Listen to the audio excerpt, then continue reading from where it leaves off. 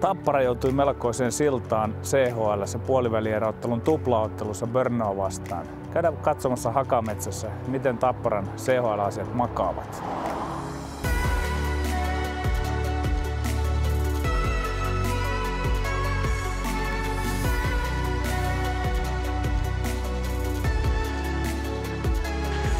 Tapparan tiimolta läpi syksyn on puuttunut joukkueen maalivahtitilanne. Christian Helianko on pelannut leijonan osan peleistä, vaikka hänen suorituksensa ei ole koko ajan ollut priimaa. Niklas Beckströmin osaksi on jäänyt luukkuvahdin rooli. Kysytään maalivahtivalmentaja Petri Tuonoselta, miksi näin? Lähtökohta meillä on tietysti ollut, että meillä on kaksi hyvää maalivahtia ja Nikke kun tuli tietysti kokeneena, kokeneena maalivahtina paljon maailmaa nähnyt ja vielä halusi jatkaa uransa ja meillä sitten tarjoutui mahdollisuus että tietysti olla aikamoisena apuna ja henkisenä tukena kautta mentorina Krisulle ja totta kai, että Nikkekin pelaa, mutta tässä on tietysti syksyllä, syksyllä ollut hänenkin kohdalla, että on sairastuminen, siinä meni viikko ja sitten lievää vammaa ollut, että se on tietysti sotkenut tätä meidän suunnitelma Aata.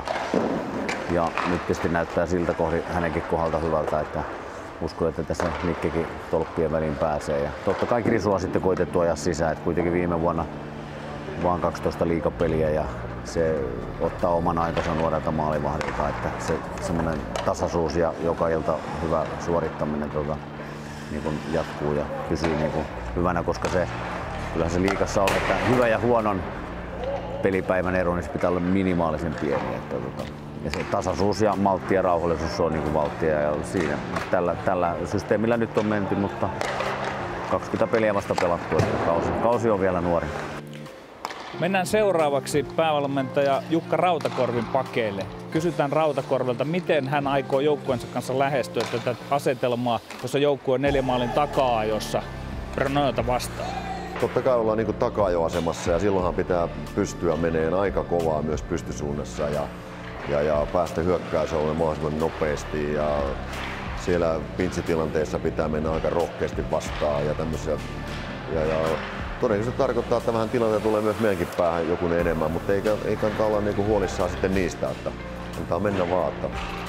Ja, ja me ollaan ihan hyvässä tilassa kyllä tuohon tommoseen lätkään, että me taistellaan ja tapellaan ja yritetään sitten vääntää kiekkoa sinne maalin eteen. Että jos nyt, nyt etukäteen vähän elää sitä peliä, niin eihän se yksi maali meille, niin se on heti vähän jo luukurkkuun kaverille, että sitähän tuossa haetaan.